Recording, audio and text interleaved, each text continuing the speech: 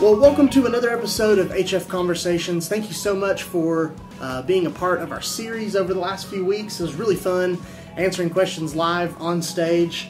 It's pretty exciting. Yeah. And Yeah, so it was uh, good.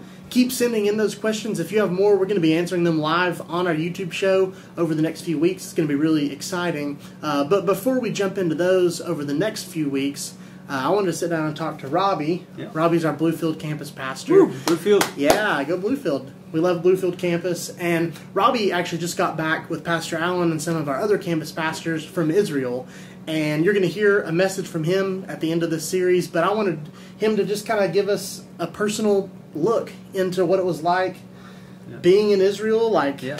Man, that's a different world. Yeah. So, Yeah, why don't you just kind of set up for us a little bit just about the trip and, and what you guys did? Yeah, yeah. So I mean, we we literally went everywhere, and Yeah. the the thought that I would have the chance to go there, Mm. it never crossed my mind ever that I would have the opportunity. So I, I'm I understand how lucky I am, Yeah. and with that, I, I am eternally grateful.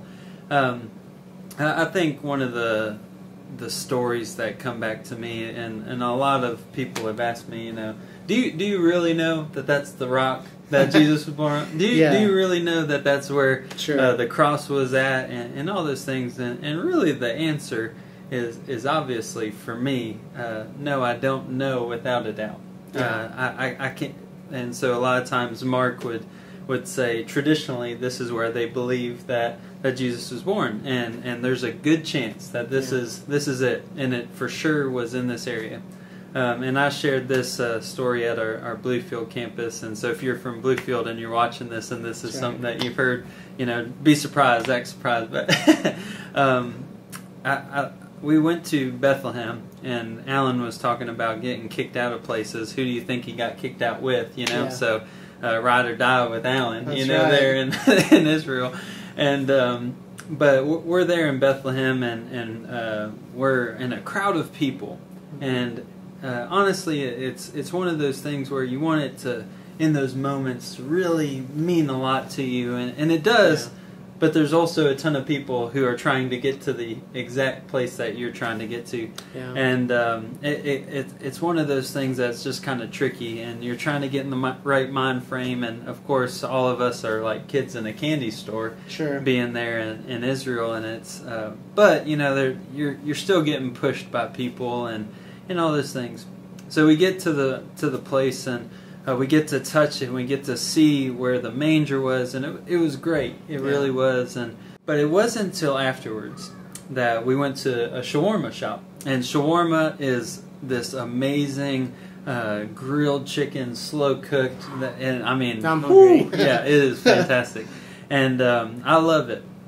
But we're we're in a, a shawarma shop uh, getting ready to eat and um, i'm just kind of standing and reflecting on where i am Yeah. and it's like this moment hit me that I am standing in Bethlehem, not just some place that that is is written in word that I read about sometimes, but I am literally standing in the place where God decided this is going to be the place where I tell my story, and the Savior of the world is going to come here.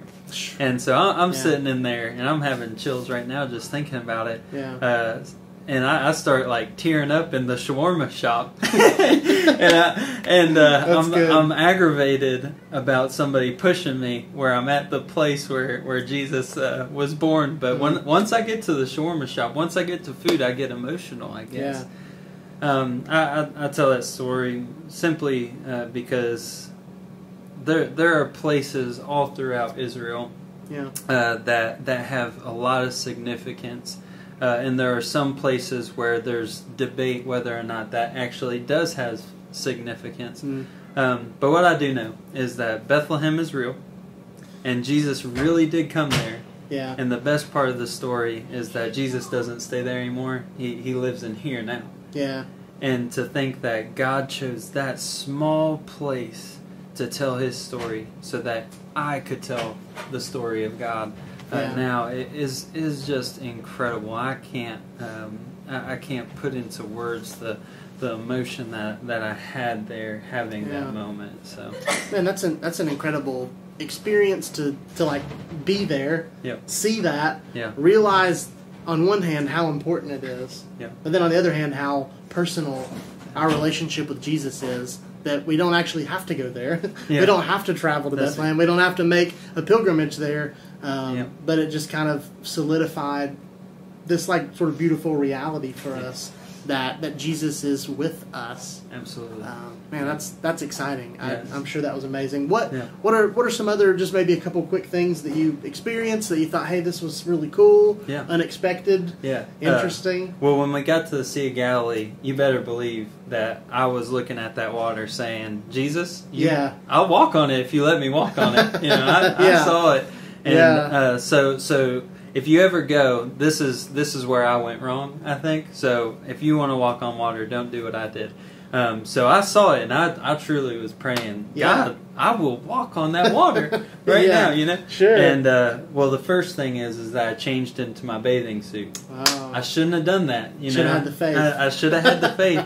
and then, secondly, I took off from about hundred yards out, just running dead sprint at it. Yeah. And I think I was just, uh, I was just thinking, you know what, I'm, I've, I've got quick enough feet to, to run on it. yeah, And, uh, you like that little lizard thing? yeah, yeah. that- Do the do yeah. the Jesus lizard, I think Yeah. is what it's called. And uh, you know, um, I, I got a couple of steps out there, and uh, um, I started like the horizon started lowering, and and my legs started getting colder and stuff, and I was like, no, don't look down, don't look down. and uh, but that that was that was really neat. Um, and uh, I mean, just just an incredible uh, experience. But the next day, uh, it's God's humor. I got to actually drive a boat on it, so I might Ah. not be able to Nice. walk on it. But God said, "Here you go, Robbie. But you have floated on top Yeah, of the I've- Sea of Galilee. You heard Nice. it here first on HF That's right. Conversations. There's Yeah. there are photos on the internet of Robbie, There is, the there sea is. captain Robbie. So and um, that that that was incredible. Um, floating in the Dead Sea. Um, I, I, again, it's very salty. I hit my leg on a rock uh, going in there, and Oh. talk about an intense burn. yeah, But I've never had a wound heal up so quick in my Oh, life. yeah. Uh, so that that was uh, that was uh, memorable for sure.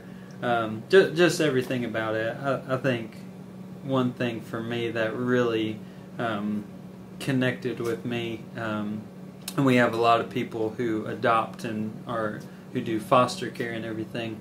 Mhm. When we were there, we got to go on the Golan Heights, which is this this territory that is is you know whose is it? Is it Israel's? Is it is it um, uh, Syria's? You know, and, and it is unbelievably beautiful. Mm. But there's also um, kind of this place where you drive by and um, you can see kind of these shacks and everything, and um, th- there are these walls made out of uh, kind of scrap metal and stuff, and um, it brought me back to the thought that there there are refugees that uh, are displaced from their homes, and um, you know, I, it just burned in my heart yeah, uh, for those people. Uh, but at the same time, in the midst of, of God's holy land, uh, there are wars that are waging on. Uh, but we're having this beautiful picture uh, of the Sea of Galilee behind us and beautiful mountains, and uh, but still there's unrest between families and children and governments and all these types of things. And yeah. uh, I think for me, what I chose to focus more on was the fact that there was still peace in the midst of all this chaos. Mm. And uh, man, what what a powerful what a powerful thing that it was. And um, I, I think about that daily. That that thought of God truly brings peace in the midst of chaos there in Israel, but again, right here, yeah. and uh, everything around us, no matter what it is.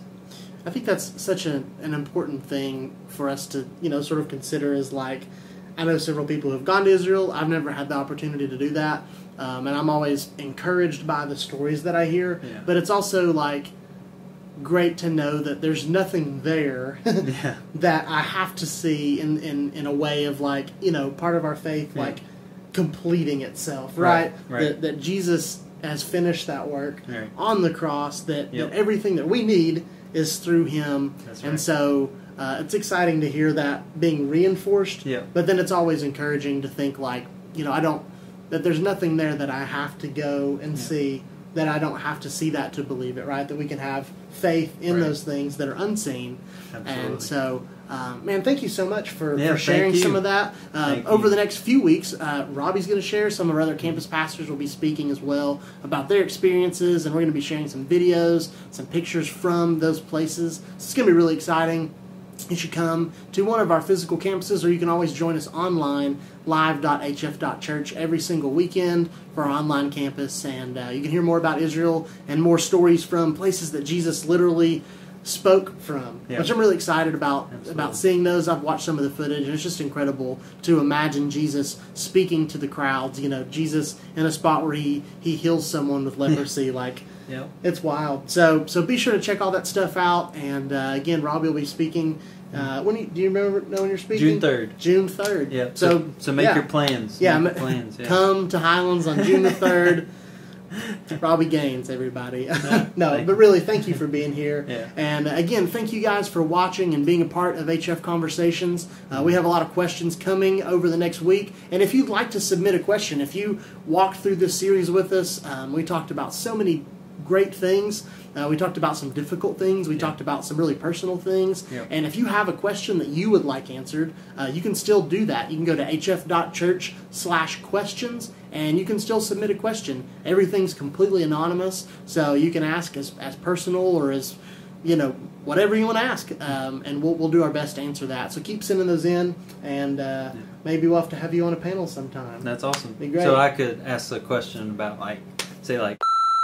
Yeah, yeah, Yeah. we'll get you a real. so, thank you guys for being here today for another HF conversation, and we'll see you next week.